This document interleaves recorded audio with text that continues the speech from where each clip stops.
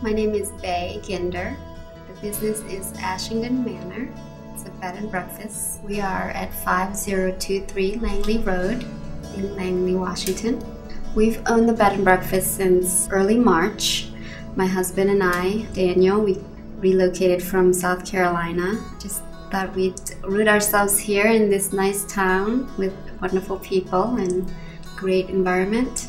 We have six guest rooms that ranges from you know, 109 to 179 per night.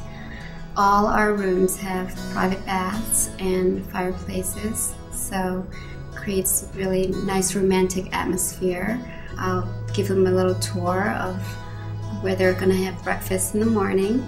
Then I'll take them to their room and uh, show them all the amenities that are available for them and uh, you know make reservations for dinner or really just cater to their needs when they get here.